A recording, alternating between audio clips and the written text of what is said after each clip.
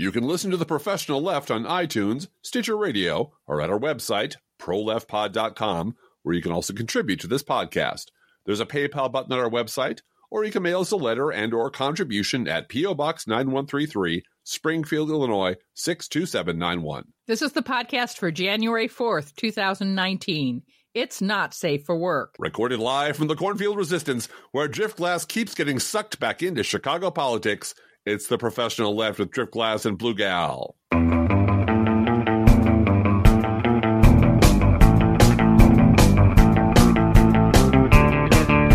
we talk about our sponsors for well, holy crap 2018 was a great year for our principal sponsor which everyone knows is where the good lord split you emergency farewell party supplies uh, we have a lot of sponsors but this one really stood out this year so whether you're a government employee who's been put out of work because donald trump is a weak man with a tiny penis or you're Trey Gowdy, who slept on a sewer grate for a week in the same baggy 90s suit before being drummed out of office forever, or the good Lord Split You has a farewell sheet cake for every occasion.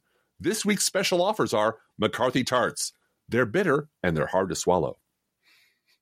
That's very good, McCarthy tarts. I like those. Except he's Thank you not very much. going anywhere. I know, but it's it's it's bitter and hard to swallow. so that's it's, good. He is yeah. bitter. He's Yeah. very bitter. And sad. Swallow it, Kevin. Swallow it. Swallow it every day, Yeah. Kevin. Yeah, gonna, gonna look up and day. see that that Pelosi lady staring down at you, just smiling. And what have you got on your side but Liz Cheney? Yeah, Liz Cheney. Oh, Yeah. I'm very angry. I'm now nobody go see Vice, okay? It's a bad movie. It's a bad man, bad, bad movie. Hey, we're screening it. Nancy Pelosi's gonna be screening Vice in the uh, house, whatever. I whatever think she screening is the room. house well. She's going to Yeah. have it on her phone and have everybody gather around to watch it. Yeah. Oh, let's let's watch this part again. Yes. The Yeah. part where she betrays her sister. Yeah, that's Yeah, great. It's, that's it's just a fucking awful family. And of course, they're still in, in politics. So, yeah, uh, Chicago, uh, my former residence. I'm still a man of Chicago, I believe. I still believe myself. Oh, to you be. are. My dad says you are. Oh, well, then, there you go. Yeah. Um, uh, keeps jumping into my timeline. It jumped into my timeline for two reasons. Apparently, Eddie Burke, uh, not apparently, Eddie Burke, the corrupt alderman who's been an alderman for half a century, uh, the last of the old Daley Machine politicians who has been, as I described it today, like a mountain troll at City Hall for half a century, just mining gold out of city government, as corrupt as the day is long, uh, has been charged with extortion. Um, he, they, they, uh, And let's be clear so- this is the guy, the FBI raided his office yes, and put brown paper up over the windows yes, like in early December. yes. And then they raided it again. A man so corrupt they raided him twice. They raided him Yeah. twice. Like, you know, which tells you they had and they I bet they had a second warrant too. I'll just Oh, bet you. yeah. Yeah, because I think they they have like phone and text. He was trying to squeeze a McDonald's, I believe. No, Might have been a Burger, Burger King. King. Burger King. Burger right. King. Yeah. Uh, the, the one that was involved in the Laquan McDonald shooting, as a matter of fact, um, squeezed them for money that he was then going to uh, dump into the campaign coffers of Toni Preckwinkle. Now, Toni Preckwinkle is, I believe, uninvolved in this completely. This is just how Ed Burke goes about raising money uh, by extorting it from people. But he has been just as corrupt as the day is long. And this reminds me of a story, Blue Gal. Yeah. Uh, back in the day when I was uh, uh, uh, uh, worked with city government in the city of Chicago, uh, back when there was a thing called the hired truck scandal, which is where a bunch of uh, mobbed up people were fake leasing trucks to the city, and a whole bunch of people went to jail and lost their jobs over it. hmm But the prosecutor involved, uh, the FBI people involved, the the folks who were uh, go, charged with getting in there, rooting it out, because Richie Daley, this this was the one that hit really close to him. These were his people who hmm were going to go to jail. So he was desperate to keep himself out of trouble. So he put a special prosecutor in charge and stepped out of the way. And during the process of doing the squeezing of witnesses, uh, the standard thing was, and by the way, is there anything else we need to know? Because if you've withheld anything from us, you're going to go to jail if we find out what it was. And I believe it was the water department. And the, the water department people said, Well, you know about the heroin ring, right? And they said, What? What? Oh, yeah, they're, we're selling heroin out of the water department. And that sounds like this. This sounds like Ed Burke was also Donald Trump's tax attorney. Right. And they started rolling out warrants to basically sweep in everybody involved in, in this corrupt scumbags criminal enterprise, and Ed Burke's one of them. And it sounds like I have no special inside knowledge, but it sure looks like it's like, oh, look what we found. We're looking on your phones and we find this extortion. So now they have him for extortion. And I, I imagine now that it looks like this 75 year old, deeply corrupt, racist scumbag who should have been gone from government decades ago. But he kept getting reelected. Sure, of course he did. Because you know, he had money and machine and power, and there are people in Chicago who are totally comfortable with that. So and we're stone cold. Oh, believe me, stone cold racist assholes in Chicago. There are plenty of them. Uh, I know where they live. I've been to their neighborhoods. It's it's it's just like you would imagine. Archie bunker, little Archie bunker houses next to each other with a bunch of you know white ethnic people who were terrified of the brown folks. Um, but Ed Burke has been part of that for decades and decades. So he's 75 years old and he's probably going to go to jail unless he, you know, flips like mad. So, well, isn't his wife a federal judge too, or some sort of yeah, judge? Yeah, yeah. It's, it's it's it's bad. It's it's you know. Chicago. I recommend to anyone who wants to understand Chicago politics, read Boss. There's yeah. a bunch of good books, but read Boss by mm-hmm. Mike Royko just for the yeah. names, just to know that. Wait a minute, isn't this family still in charge of this? And isn't this family still alderman? Yes, they are. Yes, they are. It's all dynastic politics. So everybody's got a brother in law or a sister in law or a wife or a cousin who's also in government somewhere. And once you start hauling that out by the roots, all kinds of weird shit come falling out. So uh, that's the first thing. That's the first thing that, that jumped into my timeline. And then there's um, David Axelrod. And this segues perfectly into what I want to talk about. I want to do the motherfucker yes. story next. Well, you do that, and then we'll have David Axelrod's response. But David Axelrod is a part of that story, and he's also a Chicago. Yeah, well, not anymore. Uh, you know, we we uh, revoked his Chicago card. David ah. David Axelrod was involved in sort of bare knuckles Chicago politics long time ago. I think he was part of the Harold Washington campaign. Uh, mm-hmm. He's been in it for mm-hmm. a long time. He lost a lot of campaigns, but he knows how dirty it is. And one of his, you know, oldest sort of friends and and a person who was he was this gentleman's confidant was Rahm Emanuel, and yeah. and uh, Axelrod presided over having Rahm Emanuel uh, lifted and appointed to the chief of staff. Uh, Barack Obama's first chief of staff, over the objections of a whole bunch of liberals, was Rahm Emanuel. And Rahm Emanuel's famous for swearing constantly. Uh, Barack Obama even made the joke about when when uh, Rahm Emanuel lost his middle finger in I think a slicing accident in a deli. I'm not sure, but I think that's true. Mm-hmm. He lost half his vocabulary uh, because flipping people off is what Rahm Emanuel did.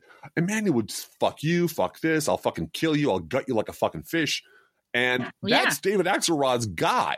Who and that was the chief right. of staff of the United States. Suddenly, David Axelrod is a Beltway inside player who is writing articles about how uh, what a, a deep public intellectual David Brooks is, and getting all of the people inside the Beltway, regardless of party, to contribute to his, I'm sure, perfectly worthwhile charity. And now he's suddenly become the Beltway guy. He's become the fragile little snowflake who who can't bear the thought of someone swearing in public. And that segues directly over to you, my dear. Yeah. Well, I wanted to to bring up this whole thing about Rashida. I want to say her name right. I hope I can say it right.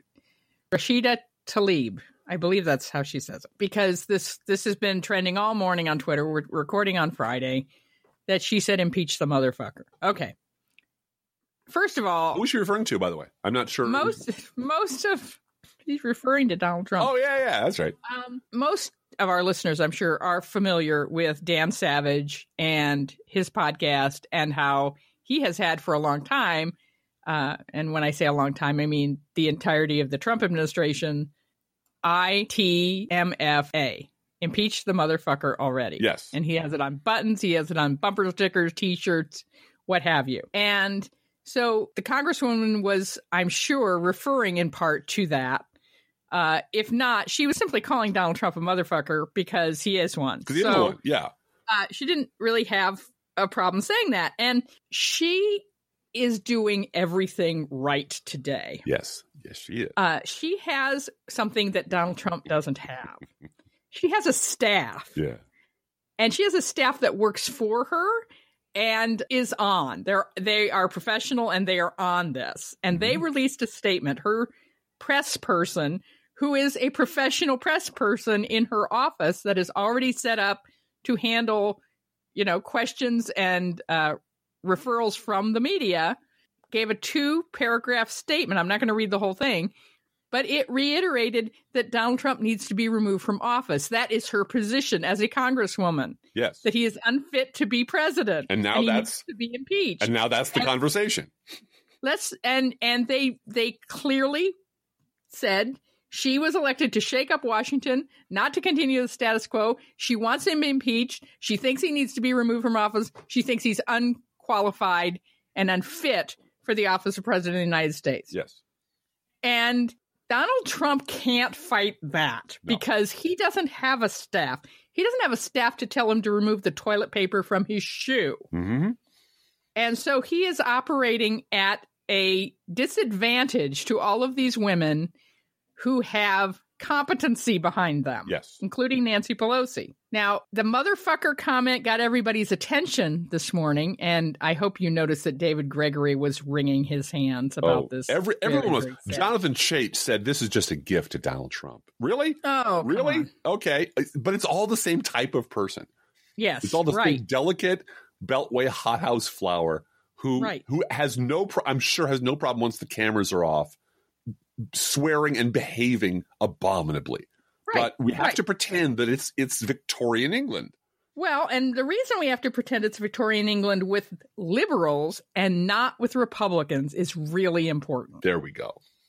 Republicans saying fuck your feelings in a t shirt and grab them by the pussy and everything else does not threaten anybody's big bank No. stocks, right? Right.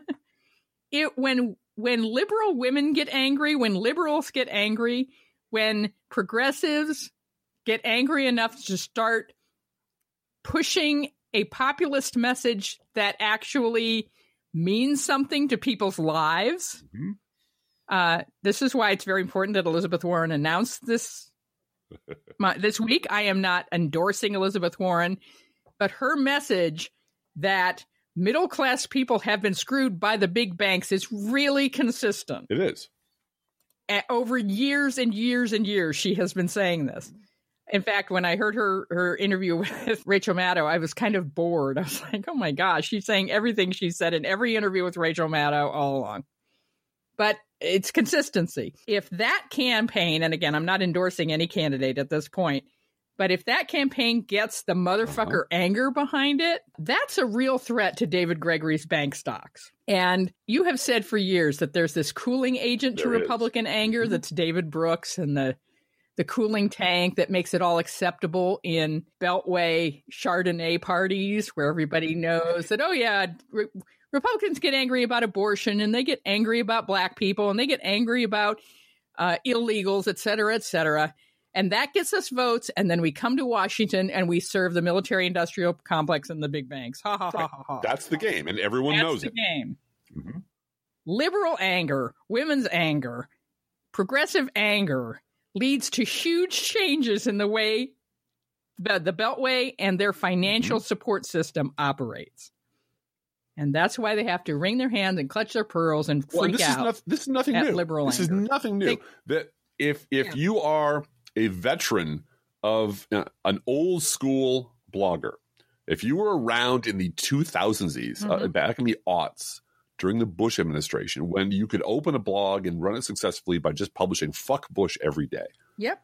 we had long, thoughtful, liberal disquisitions on the use of the word fuck, whether to spell it Yep, in the. Chaucerian P H U Q U E to fool editors. We we we thought of all kinds of clever things to do. But the point was we had already been cast out of polite society for having opinions that turned out to be 100% correct Right. and 100% anathema to the party line of the Republicans who owned and operated Washington. And that was everybody from Rush Limbaugh uh, to David Brooks, who was writing slanderous liberal hit pieces in the now uh, departed and not dearly departed Weekly Standard. There was a, a concerted effort hmm uh, on, on across the right that liberal, fuzzy-headed, um, Norman Lear loving, uh, Birkenstock wearing, pinko hippie douchebags like you and me uh, were the problem. That George Bush is a military genius. The, the Mhm. Iraq War was over. Uh, David Brooks pronounced it over two months after the invasion uh, began, and it was a fait accompli. Everything's been proven right. We've been proven right. You're all wrong. And the fact that that was coming apart at the seams, even as they were writing it, led to them devoting, and I'm, by them I mean the entire Beltway media, everyone in the Beltway media, um, devoting an enormous amount of energy to lying about it, to pretending everything was fine, to pretending everything was okay. That there's just this fringe bunch of lefties out there screaming their heads off. Who knows what they want? Who knows what they say? And we said, well, look, you already hate us. We're never going to get on Meet the Press. We're never going to get on Face the Nation. No one's ever going to take us seriously outside of a few slivers on cable news. Um, so we're just going to yell as loud as we possibly can for history. For history's sake, we're going to start using the word fuck a lot. We're going to start using uh, language that you find offensive because we find your behavior offensive. We're doing it on purpose. We're doing it in the same way George Carlin did, very carefully, in a very strategic way to make sure you understand and to brand ourselves as outsiders because you've already put us outside. Might as well lean into it.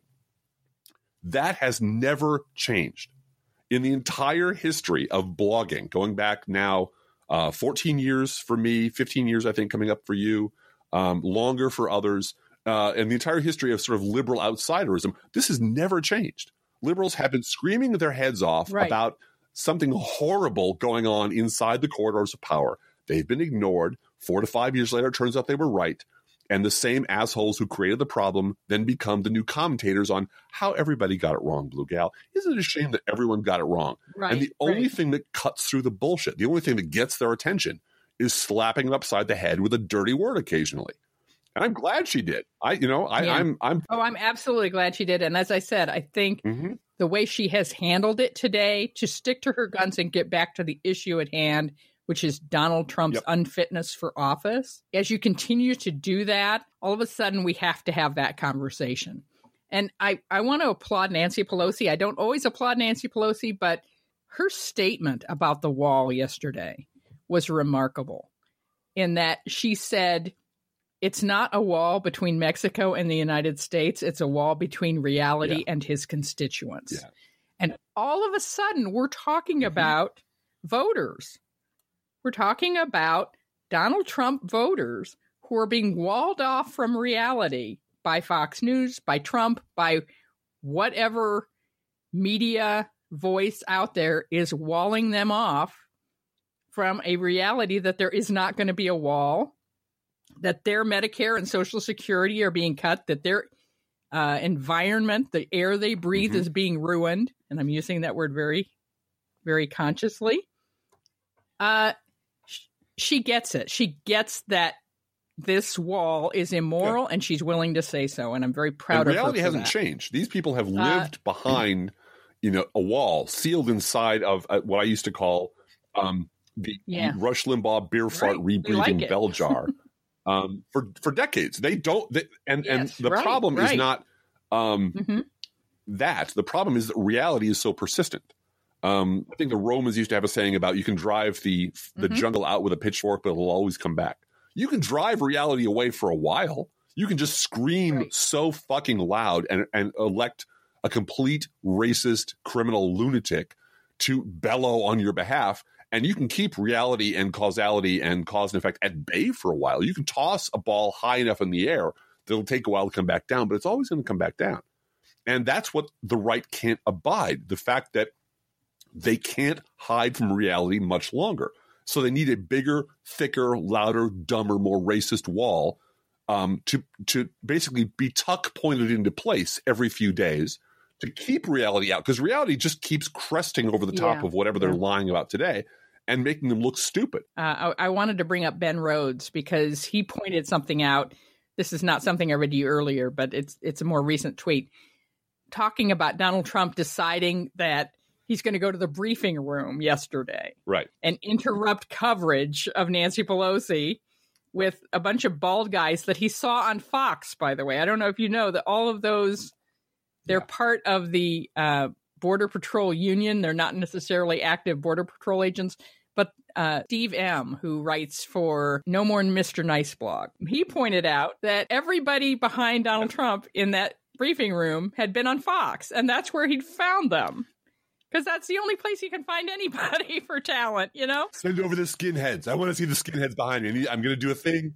I'm going to need three skinheads behind me. Yeah, right. So there they are. And there he wrote down their names or had someone write down their names and get them over to the White House because they'll come. So Ben Rhodes pointed out that leadership is not about being able to command the attention of cable news for an hour. And that's what Donald Trump thinks leadership is. Yeah, that's all I can do. He did it today in the Rose Garden. Mhm. You know, if I can get the TV cameras on me, I win. Right. That is catching up with Donald Trump. well, it reminds me of of the, the episode of The Simpsons where Homer's mom returns, and Huh? and Homer and and uh, uh, Mona Simpson and and she and Lisa hit it off. And while they're discussing, I think a separate piece, you know, on the porch, um, Homer is doing handstands on the sidewalk, going, "Mom, mom, look at me, look at me, mom." She goes, "Yes, Homer, you're very smart. That's great. Look at me, mom, look at me." That's all Donald Trump does. He Mhm. jumps up and down, waves his hand, waves his dick in the air, goes, "Look at me, look at me, look at me, look at me." And what everyone does, what comes out of his mouth is pure, undiluted crazy and Mhm. wrong. I mean, it just the amount of shit that he's gotten completely wrong. There's just the lies he's pulled out of his ass, or the straight up Soviet era propaganda he is now pimping as American foreign policy. It's also completely wrong. Is breathtaking. Um, the the the uh, today he's marching out. I believe his Homeland Security woman, Kirstjen Nielsen, Yeah. uh, to talk about the the the overwhelming tide of terrorists who who they've stopped at the border because as someone pointed out today they've lost the economic argument and they've lost the cultural argument for for his surrogate penis wall so now they're going to pull out the terrorist card Mhm. well you know uh, there's all these terrorists there's thousands of them just swarming at the border trying to get in the only way to keep america safe and that's the george bush card Yeah. That's the when in doubt when you're losing the election when you're losing the conversation raise the terror alert uh, and it doesn't work anymore and no one takes them seriously anymore, which is incredibly dangerous, by the way, because in case of an actual emergency, no one's going to take a goddamn word these people say seriously. But it's so, the, the degree of desperation they have to to keep changing the subject from Nancy Pelosi's now the Speaker of the House to the Mueller investigation to the underlying criminality of the entire uh, uh, Trump Mhm. administration, to all the people who flipped on him, to all the horrendously racist, awful things he says every day, to all of his friends flipping on him or going to jail or pretending they don't know him, uh, to his his unpopularity rating among sentient beings being at an all time high. Uh, it's it's the walls really are closing in. Yeah. Those are the walls I'm interested in. The ones that are closing in on this asshole every day. Mhm. And the only thing he, it's it's truly weird. It's uh, again, it reminds me of um another Simpsons episode where Homer gets a gun Oh, and yeah. he uses it for Right. everything. Right. You know, he opens his beer can with a gun, and, and because all Donald Trump knows how to do is make a giant, loud, braying ass of himself in public. That's literally all he knows how to do. So every situation, that's what he does. And for the 33% of America who are reprogrammable meatheads who've been programmed by Rush Limbaugh and, and 30 years of hate radio and Fox News to believe anything that comes out of this asshole's mouth, that's great. They think he's doing a great job. For every other person on earth, it's horrifying. And we've reached the point now where we finally have a crowbar. We finally have a, a crowbar in the House of Representatives to pry the lid off of this, to prying bricks out of the wall and forcing them to face reality. And that's why 2019 is going to be a hell of a year. Now, there is one force working against this, a force I like to call the Beltway media. Yep. Um, this is a hat tip to Tengrain, uh, who basically pointed out, oh, it's 2016 again. Yes. Yes. Um, we're we're now returning to our default settings because for two years you couldn't say both sides really. I mean, all the same people did all the time because that's all they know how to do. So Chuck Todd did it all the time. They had both sides on all the time. It was embarrassing. It was they, they, you could clear you could tell the people like they were embarrassed that they felt they had to do it, that their boss would fire them unless they they kept up this charade. But when Republicans control the entire government, it is ludicrous to continue pretending that this is a both sides problem, despite the fact again that they do it all the time. But now that Nancy Pelosi has been Speaker of the House for five minutes, now we can all go back to doing what we'd like doing, which is bemoaning the fact that both sides are terrible, talking about how neither side will compromise. How about gridlock in Washington? Blah, blah, blah, blah, blah. So we are announcing on the professional left a bolo, if you will, a be on the lookout. We want all of our listeners to be on the lookout for, for signs of both siderisms. If you see something, say something. And when you say something, say it really loud. Make sure they hear because we've noticed that at least around the edges, if we are loud enough and say motherfucker enough Yep. and and shove it right in their face enough fast enough and humiliate them enough, eventually some of these people get shamed into stopping at least momentarily what they're doing. Yes, they catch And that- themselves. Yep. Yeah. Um, I did like Jason O. Gilbert, who writes for The Daily Show, or he's an Mm-hmm. employee of The Daily Show. Uh, he had uh, a sad about what Rashida Tlaib, Tlaib said. He said, like her or not, she should not have referred to the president using the Secret Service code name for Mike Pence. so there you go. Yay. Yay. Yes. You win the internet, sir. Um, You want to talk about Chris Hayes, Mitt Romney, or David Brooks? oh, good lord! I get that choice. Yeah, these. I, I'm, this is what you call in the card business. I'm forcing the card. Mhm. Um, I'm giving you three terrible choices, and No, I'm, I'm ready to not talk terrible. Let's start with No. Mitt Romney. Yeah. because that's Uh, you know that's the never Trumper there who's who's being My- bold and uh what is he a maverick? That's what I. He's a that's maverick. what it is. Maverick. Yeah. Maverick is what brings us together today. Um, my new nick, nick, nickname for him is the seven percent solution because he is literally the hero to the seven percent of the Republican Party who aren't out and proud bigots and imbeciles and anti-science um, Bible nuts and uh, gun nuts and a homophobe and a xenophobe. All those people love Donald Trump, but the tiny, tiny residue left over after all those people have moved to the right the Bill Kristol universe of the party, the David Brooks universe of the party, the Joe Scarboroughs, the people who who write columns and opine publicly for lots of money about a Republican Party that simply does not exist, and they keep trying to wish it into existence. Mitt Romney's their guy now. He's their hero. And uh, I wrote a nice little post called Hokum's Heroes. I hope you will all enjoy it. Uh, this is just bullshit. Um, it, because it really does depend on doing the two things that every conservative does. Whether you are Rick Wilson or you are David Brooks or you are David Frum or you are Rush Limbaugh, it doesn't matter. It doesn't matter. Pick any card, any card in the deck. It doesn't matter. They all do the same two things. The first is they all lie about the past. They all pretend the past never happened, that nobody has access to anything that happened before 2016, so nobody can crack the code on what we're doing. Well, that's because all the people you hang out with have a mutual agreement not to mention your own filthy, inconvenient past. It doesn't mean the past doesn't exist or we don't remember. It's just that you won't allow yourself to have a conversation with anyone who might bring it up. And secondly, they all believe that if we just put a new coat of paint on the same shitty, awful, monstrous ideas that got us here in the first place, that will do the trick. And they're always wrong. Um, and it, it is fascinating to watch that wheel just keep turning and turning and never going anywhere. The same losers, the same people who are wrong all the time, the same cabal of opinion writers who never get fired, who are never right, and who are all very predictably clustering around the first person to show a whisper of opposition of any kind to Donald Trump. Mhm, right. Of course, Mitt Romney will fold because that's what Mitt Romney does. Of course, they'll go along with the wall because that's what Mitt Romney does. Um, Mitt Romney, who ran one of the most dishonest presidential campaigns in memory, but of course, they don't have a memory, so they don't remember that. And that's what's so weird to watch. That not that this happens, that it's so goddamn predictable Well, that you and I could have written this column, you know, two years ago, and probably did about this is how the never Trumpers will cluster. it really makes me question too Utah voters Yeah. because Mitt Romney, of all the Republican senators, probably has the most freedom to stand up to Trump, being from Utah, where they really don't like Trump very much anyway. Jason Chaffetz. Excuse me, I got a little something. Orrin Hatch. I'm sorry. I got con- con- I- the congestion from the cold last week is still lingering. But you go ahead, Blue Gal. You tell me all about Utah and, and their progressive right, forward-looking you're politics. just proving me wrong. Okay. no, but he is. He he would be in theory. You're proving my point, though. Which is it's Yeah. not Trumpism, it's Republican. Exactly. Exactly. And Trump isn't Trump; he's a Republican. Is because he's a Republican, no one's gonna, no Republican is going to say boo to him because Republicans. Yes, Right.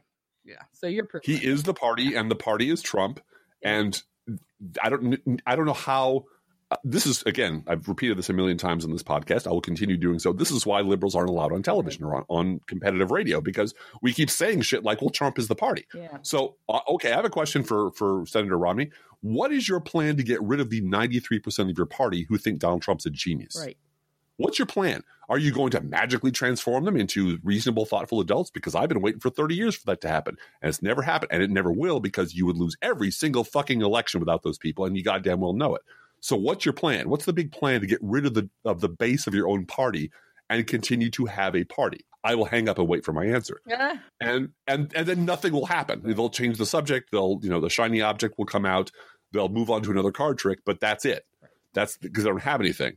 Um, and that brings us uh, to Mr. David Brooks. Yes. You go ahead with that, and then I'll talk about Chris Hayes. Mr. David Brooks is back in the saddle, baby.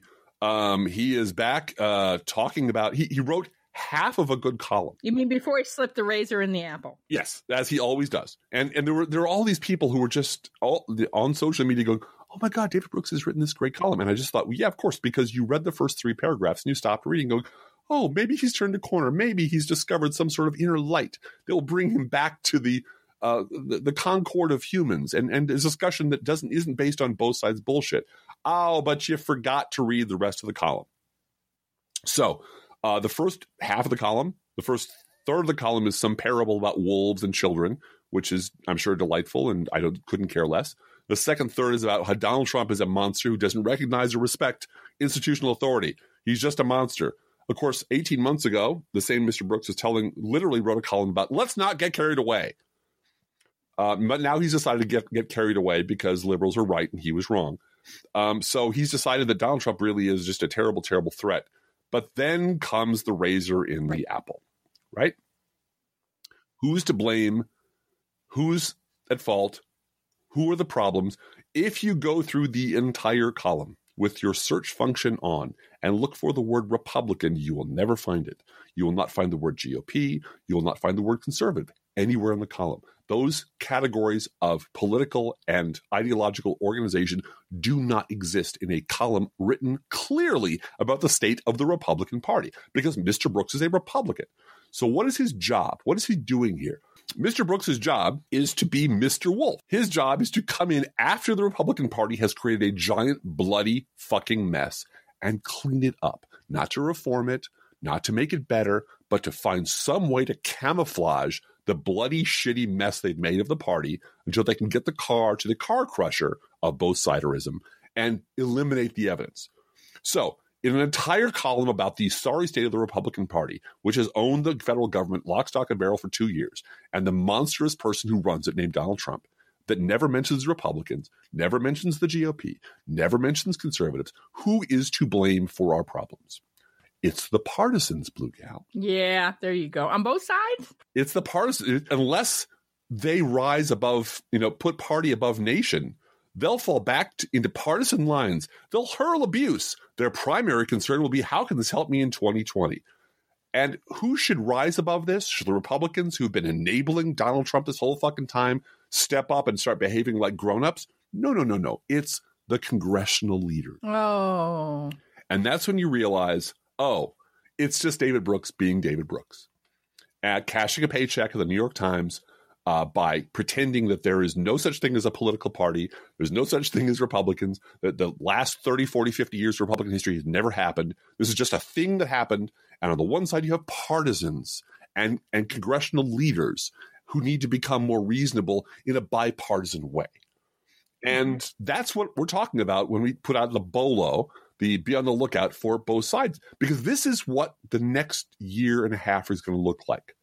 These people are going to reconstitute themselves like liquid metal in Terminator 2 and go right back to doing what they've always done, which is finding a, a, an excuse to pretend that both sides are equally to blame and that there's some fucking middle ground that only David Brooks and John Chait and David Frum and the rest of these assholes occupy. And everyone else is inferior and morally suspect because they don't agree that the center is the place you want to be. Well, the center is Right. now in the Democratic Party. That's where the center is. So if you want to be a member of the center, if you want to be a part of the conversation, Bernie Sanders, then you should really join the Democratic Party. If you want to participate in Democratic politics, if you want to be in the Democratic primary, if you want to be considered a part of the Democratic conversation among Democratic candidates, you really should join the group. If you don't want to be part of the Democratic Party, then don't. Go someplace else. Go form a third party. Of course, that will take down both parties and succeed in getting Donald Trump reelected. And is that really what Which you he want? might do anyway. Yeah. You know, Anyway, are we approaching an anniversary, Blue Gal? next week is our nine year anniversary. Nine year, not wedding anniversary though. No, nine year podcast anniversary. Wow, wow, that's a lot of podcasts. We've been we've been podcasting longer than we've been married. Yes, we have. So Yeah, you yeah. know, we were we were kind of liked each other when we started We did. podcasting, but we weren't married. we use that as an excuse to sort of, you know, flirt with each other, hang out, Flirt with each other a little bit. and we still do, as a matter of fact. Uh huh. Mhm. And at some point, you decided to make an honest podcaster. I did. I did. I put a um, well, ring network. Put a ring it. on that. Yeah, he did. He did a lovely ring. Uh, it's a blue glass yes, ring, yes. drift glass. Um, okay. Uh, I want to talk a little bit about Chris Hayes. Yeah, please. Chris Hayes has a New Year's resolution, and have you noticed, everybody, that this year seems particularly intense? To me, it seems particularly intense out there for New Year's resolutions and uh, improvement and cleaning out your closet. There's this Netflix thing on uh, Con- KonMari, the whole empty out your entire closet and only keep things which spark joy. There's this whole thing going on. Great. Anyway, yeah, right. I've done that so many times. I've purged my closet so many times. I tried to start again yesterday. I was like, wait a minute. I've, got, I've only got a few clothes in here. Does I'm this pair of socks really spark joy? No, but I keep my feet warm. Okay, I'll keep them. Okay. Yeah, that's fine. Uh, so Chris Hayes, and I think it's just we want renewal so badly this year. Yeah. You know, we want this nightmare to end. So we're willing it to happen by writing in our journal every day for 10 minutes. I understand that. Uh, but don't be um, hard on yourself and make unrealistic uh, New Year's resolutions to try to make Trump go away because Trump's going to go away on his own. Yeah. We're going to make that happen. Yeah.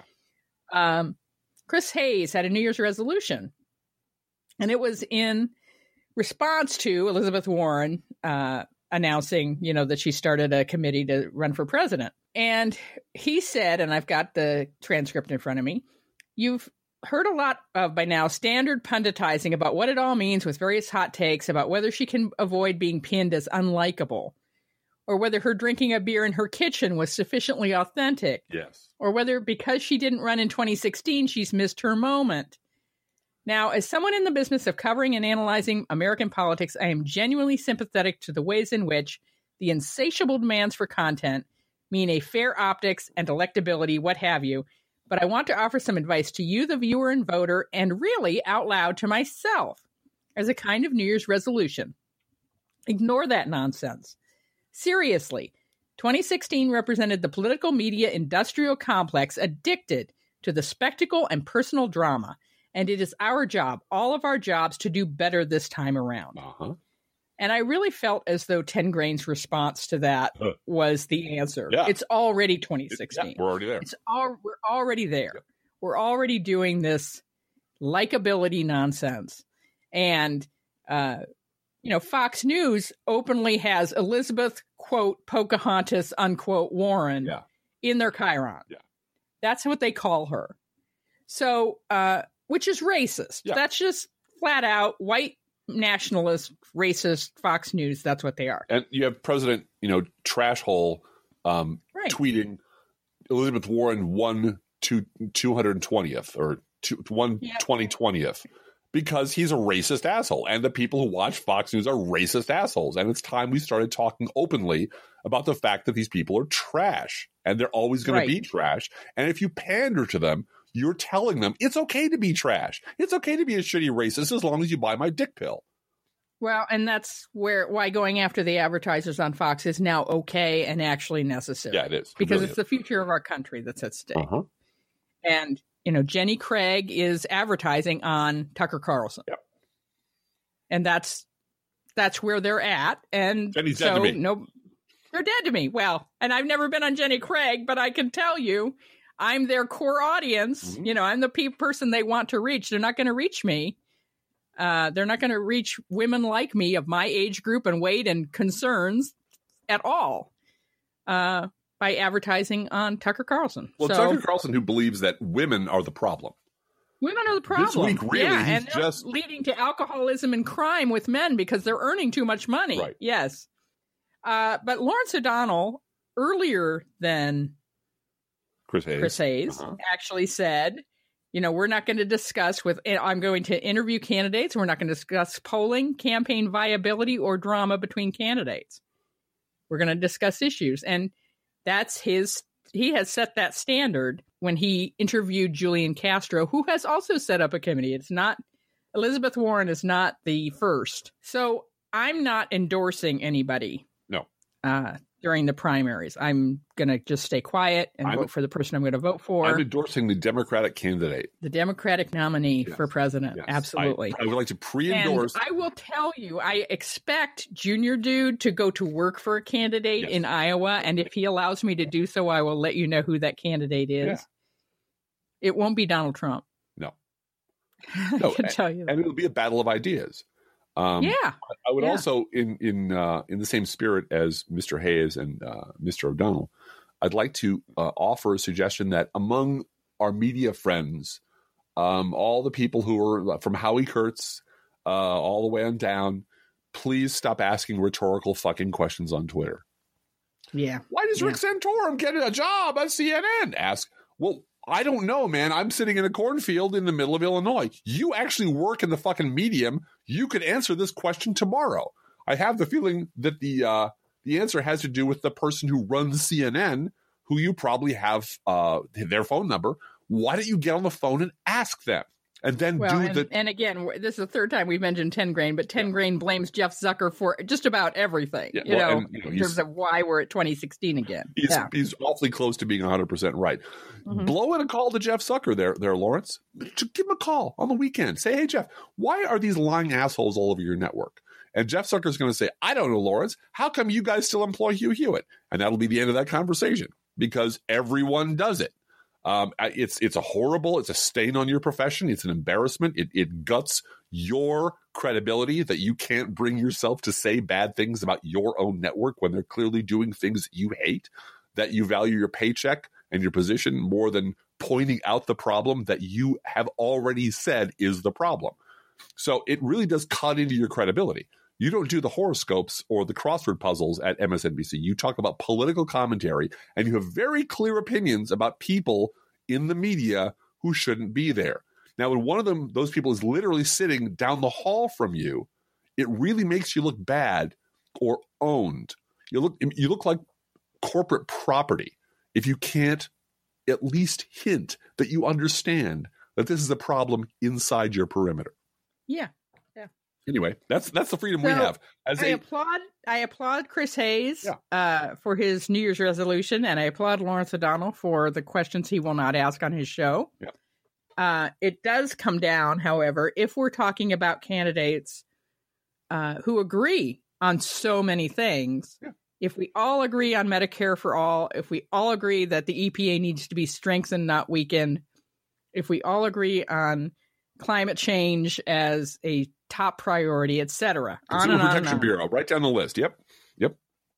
Then it comes down to viability. It comes down to personality. It comes Mhm. down to who do you want to see leading the country and and having the voice of the White House. Who can get this shit done? Really? Who can get this shit done? Who can provide that kind of leadership? Mhm. And that does come down to personality, and that does come down to an it factor that can't be quantified.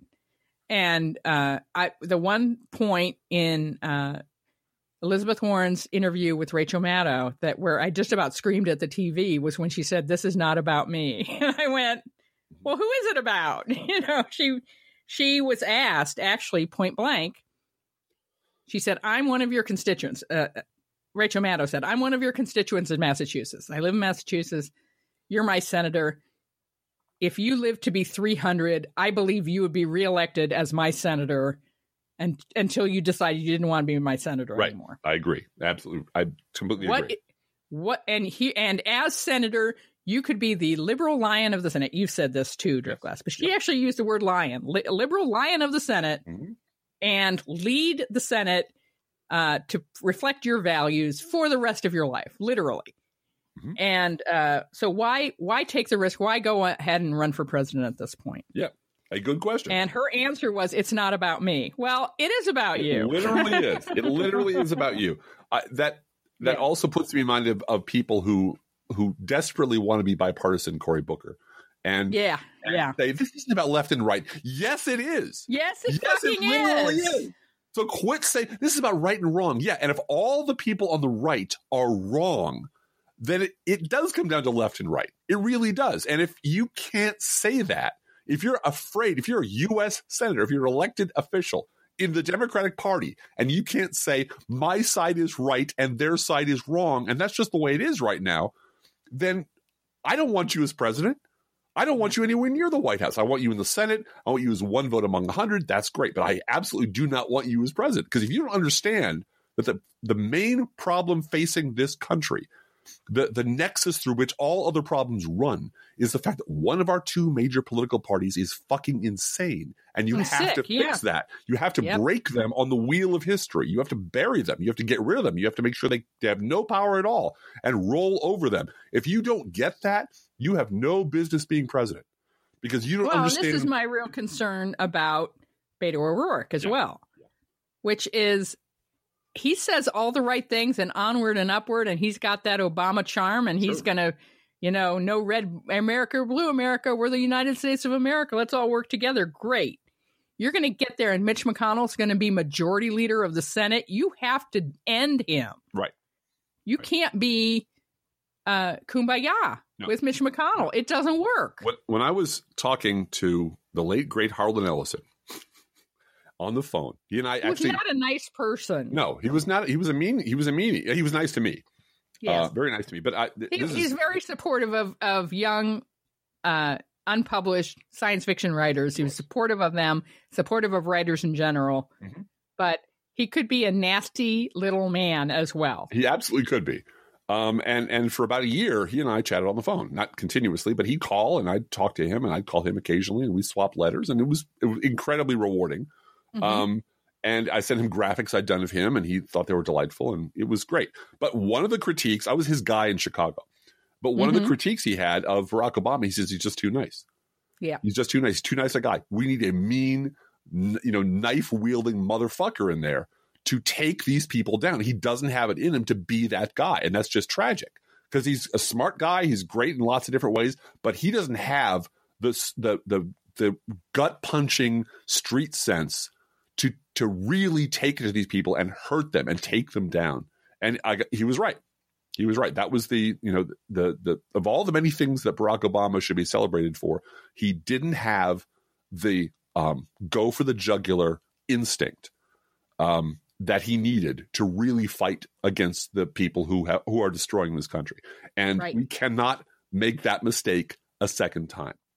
Well, especially since, as a colleague pointed out to me today, Trump's going to cheat. Of course he is. Trump is going to cheat in this election. and all of his all of his people are going to scream bloody murder every time anything goes any way other than he said it should and half the media will be be on his side or be too terrified of being having their houses egged by nazis to to do anything but go right up the middle play at both sides and this time we can't allow that to happen which means we got to be louder this time we got to be more insulting this time we have to be more blunt this time Mhm. um, and we have to use language, which is basically the weapon of the podcaster, the weapon of the blogger, the weapon of satirists, the weapon of politicians, the weapon of priests. Um, right and the weapon of Congresswomen, it turns out. Yeah, yeah. And and we, one thing we can be grateful for is that we are looking forward to RussiaGate summer, Yes, we are. and so it's not going to be a summer of empty Trump podium No. like it was in 2015. It's not going to be a summer of, you know, Morning Joe having Donald Trump phone in and talk to them. I'm on the shitter. Uh. Let's talk about race. Yeah, okay. No, what do you think? no, No. no. That's Oh. there's going to be too much to cover. You know what else is going to And- happen this summer? What?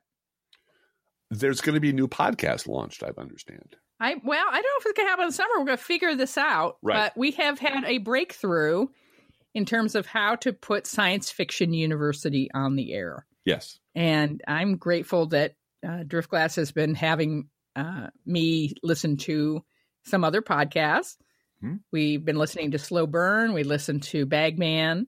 Uh-huh. And uh, when I started listening to Slow Burn with you, because we have car trips to pick up kids and take Yes, kids to college and so forth. And listening to I the professional left over and over again does get a little No, we didn't do after a while. that. We didn't do that at all. No. No. Uh, it occurred to me that we could do Science Fiction University as a seven episode podcast. Yes, yes, we could. And that could be our semester, right? Or our Mhm. college year, or however we want to put it. Do a seven episode one off thing of a semester of Science Fiction University. Mhm. Put those shows in the can and release them one a week Yeah. and then see how the support for that goes, whether people like it or not, whether people support it or not, because there is a financial component to doing that much work. Yes, but there is. There certainly is. it uh, putting that together for seven episodes and then releasing it seems doable. Yeah. Whereas doing a second podcast that goes 52 weeks a year, No. I was not up for that. So or, or bolting on 12 minutes or 15 minutes of this one. Yeah, Um, we're we're we're kind of realizing that that doesn't quite work. So we are now working on show notes for seven episodes where we're going to discuss a classic work of science fiction and also a science fiction movie. Right. Uh, That are- that are we're working on the show way- notes for that. that are in some way related. It is Yeah, not going to be. they a- will have a theme, right? Yeah. They will each show will have a theme. it will probably not be the movie version of the book or vice versa. They'll- No, but- no, we're not going to do that. Right. Right. Because we want to do something thematic that sort of gets people Mhm. thinking about things and thinking about books and movies as, oh, this sort of reflects an idea Right. It'll be writerly, I'm afraid. It'll and be writerly. This is this is how this is how character development is working. This is what the plot is. This is what the main themes. This is how the author is constructing the narrative. Um, and I'm looking forward to it. I'm really jazzed. I, And I think there'll be some political angles to it as well. you know, as to- sometimes uh, uh, science fiction is used as a subterfuge to See? talk about social issues, like the entire history of the Twilight Zone, for example. Yeah, there you go. Anyway, we're we're working on it. We've got uh science fiction university at gmail.com Yeah. as an email address. So we're there. We're already there. It's we've halfway got done. a Twitter. We've got a Twitter. Uh-huh. I, I forget what our what is our Twitter. Science they fiction. wanted it to have a number in it, and I said no. No. So our email address is going to be sciencefictionuniversity at gmail.com, which is the only thing I could find that was not used yet that had science fiction and university in it.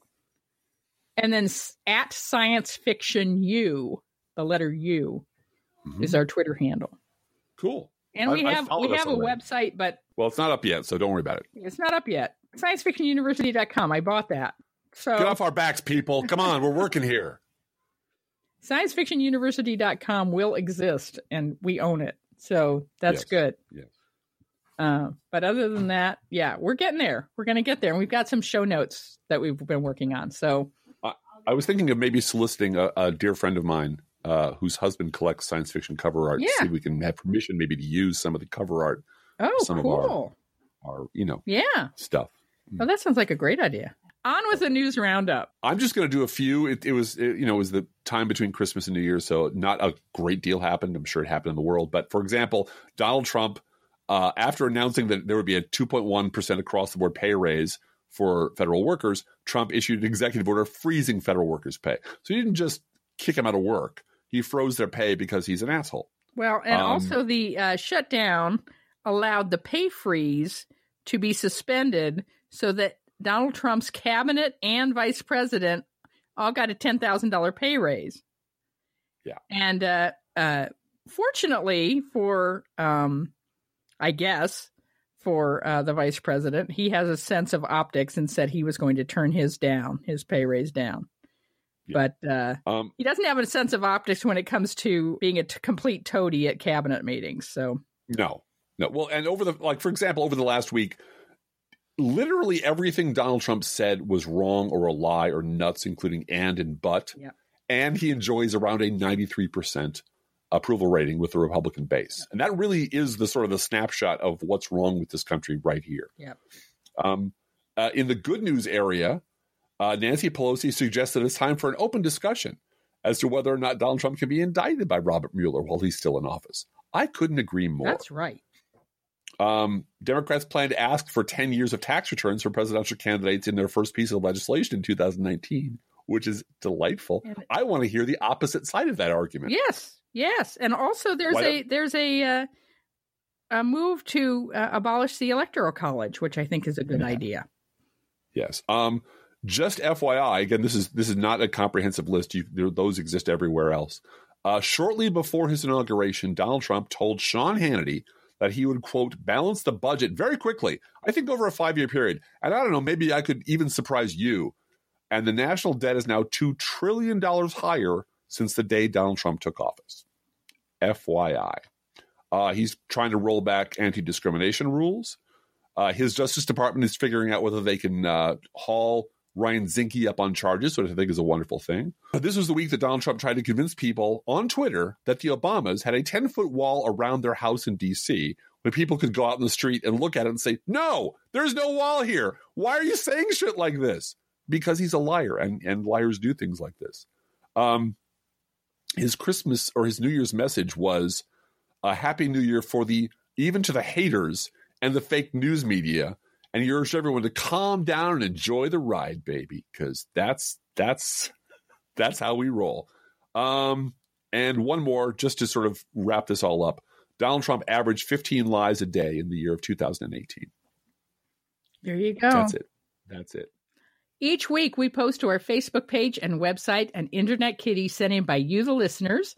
This week's Internet Kitty is Sophie. Sophie is on a sofa Wow. and wow. she's sleeping. She's just a little kitten. She's next to a hat that says no censorship. So we thought she was a good one for this week.